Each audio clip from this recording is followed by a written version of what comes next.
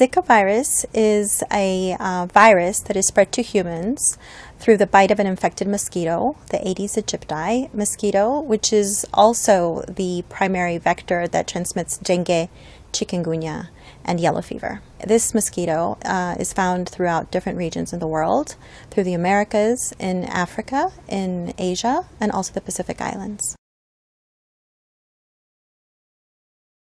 In the beginning, when we first knew about this disease in the 1940s throughout 2007, it was very mild um, fever, rash, conjunctivitis, um, which is the reddening of the eyes. You can have muscle and joint pain.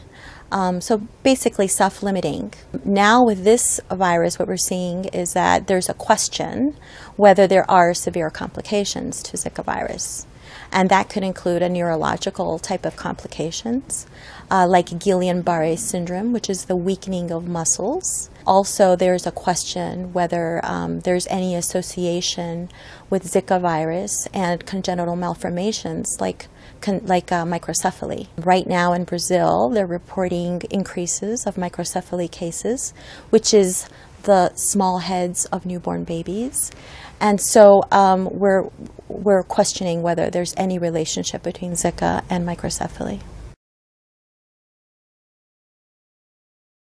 Well, there's no specific treatment for Zika virus disease, and there's no vaccine.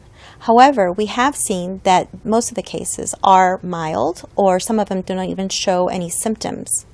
However, if you do have symptoms, you can take supportive therapy medicines to cure your headache or your muscle or joint pain. Well, travelers should um, follow their guidelines from their respective own countries. As with all vector-borne diseases, we do advise all travelers, all people living in areas, that subtropical and tropical areas, to wear protective clothing. For pregnant women, uh, we advise pregnant women to seek consultation with their physician. Well, the best way to prevent yourself from getting um, bit by a mosquito is to use either uh, mosquito repellent or protective clothing during the peak hours of when the mosquito will bite, which is usually early in the morning and late in the afternoon. And also for children that or elderly or people that may be resting during the day, they can use bed nets to also create another barrier between themselves and the mosquito.